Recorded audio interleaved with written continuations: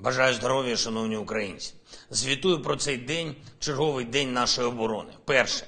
Верховна Рада України за моїм поданням затвердила нового очільника Служби безпеки України. Вважаю саме такий пройдений шлях призначення на посаду сигналом для усіх державних посадовців та працівників наших правоохоронних органів. Василь Малюк певний час був виконуючим обов'язків глави служби. Він пройшов випробування війною. Він довів свою ефективність. Він був призначений. Дякую народним депутатам України за позитивне голосування щодо кандидатури Ігоря Клименка на посаду міністра внутрішніх справ. Важливо, що система МВС, яка є елементом загальної системи оборони і безпеки, достатньо швидко отримала керівника, який пройшов разом з усіма шлях захисту нашої держави з перших хвилин повномасштабного вторгнення. Зараз у нас є люди, які здобули досвід такої війни, мають чіткі результати в своїй роботі на державу, що воює за свій народ і за свою незалежність. Таких людей має бути більше на посадах різного рівня в органах центральної та місцевої влади. Відповідні призначення погоджені Кабінетом міністрів України. Дніпропетровську, Запорізьку та Херсонську обласні адміністрації очолюють фахівці, які мають досвід реального захисту держави саме зараз. Зустрівся сьогодні з міністром оборони Німеччини, який прибув у Київ. Тематика розмови очевидна.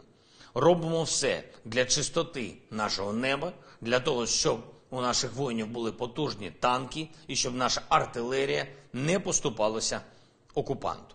Я дякую Німеччині та усім партнерам за відповідну підтримку.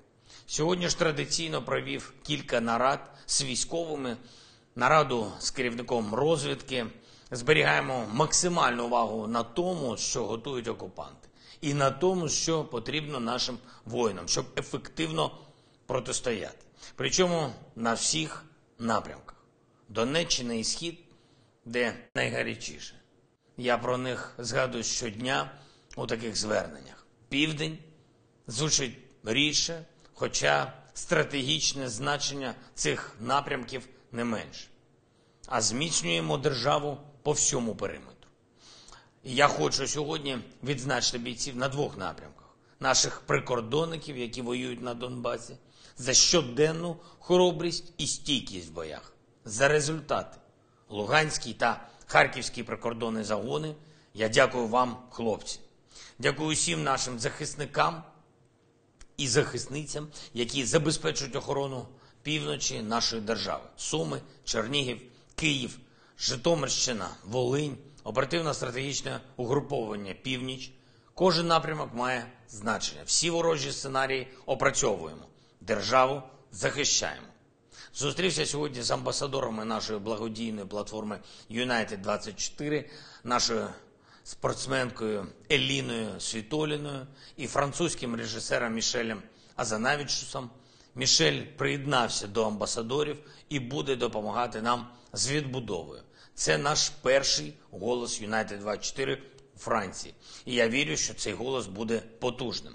Був радий почути, що наша державна благодійна платформа змогла акумулювати вже майже 300 мільйонів доларів від звичайних людей і компаній з понад 100 країн світу.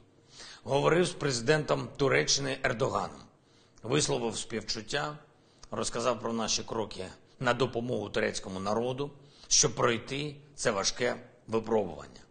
Українські рятувальники вже направились в Туреччину, щоб посилити рятувальну операцію після землетрусів. Сподіваюсь, вдасться зберегти життя якнайбільшій кількості людей. Дякую усім, хто береже життя. Дякую усім, хто воює за Україну. Дякую усім, хто допомагає. Слава Україні!